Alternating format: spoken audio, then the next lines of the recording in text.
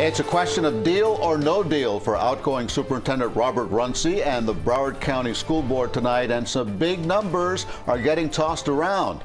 The school board wants Runcie out of the job, and that's going to cost taxpayers a lot of money. We're talking about hundreds of thousands of taxpayer dollars in severance, unused sick and vacation time, and more. CBS 4's Karli Barnett is following the negotiations, and she's live in Fort Lauderdale. Karli.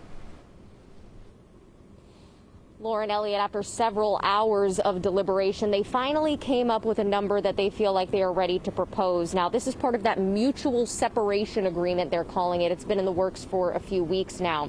And the school board says they want to abide by Runcie's contract, but they also want to do what's going to be in the best interest of the community and the school board.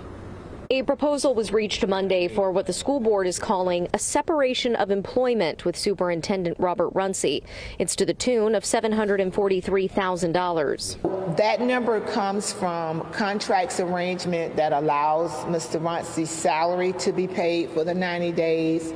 Um, state statute allows for 20 weeks of severance pay that you have to give.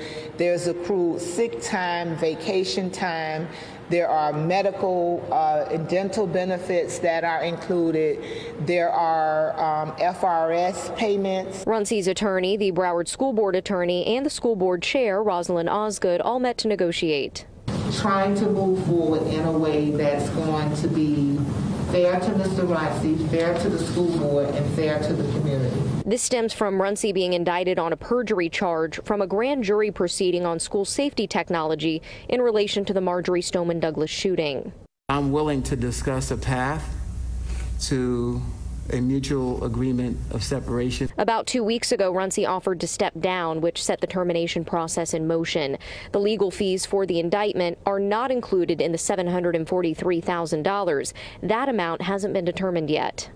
If Mr. Runcie is successful in that legal case, the school board would be responsible for those legal fees.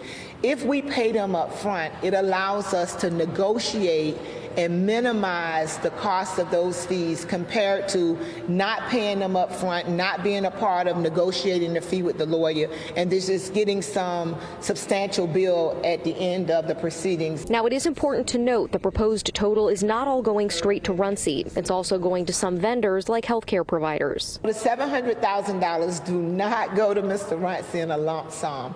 A lot of it is expenses that we have to pay for medical insurance, for dental insurance, for 407B, and those kinds of things.